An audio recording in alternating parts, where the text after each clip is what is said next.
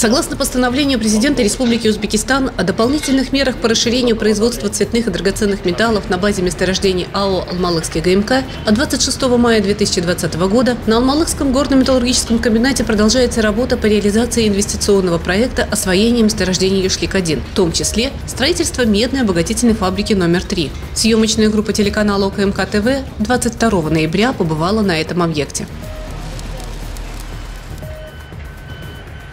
Как известно, строящийся МОВ-3 включает в себя такие объекты, как склад крупнодробленной руды, склад мелкодробленной руды, корпус среднего дробления, корпус мелкого дробления, корпус флотации и обезвоживания, цех гидрометаллургии, участок ремонтно-механические мастерские, административно-бытовой комплекс, подпорные стены и другие сооружения. На сегодняшний день наблюдается следующий прогресс.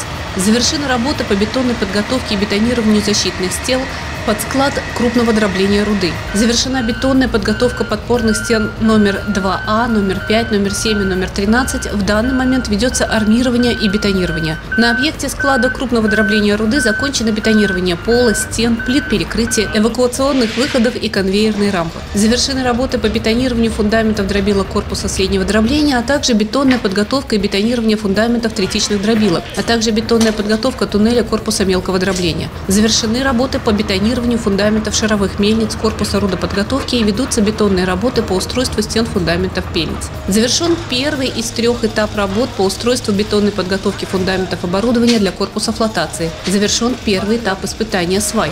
Начало пусконаладочных работ запланировано на конец 2023 года. На данный момент продолжаются работы по монтажу оборудования конусных дробилок КСД, работы по устройству фундаментов под оборудование третичных дробилок КМД и другое. Все технологические процессы новой обогатительной фабрики будут автоматизированы для снижения влияния человеческого фактора. Автоматизация технологических процессов будет обеспечена современной программной инфраструктурой.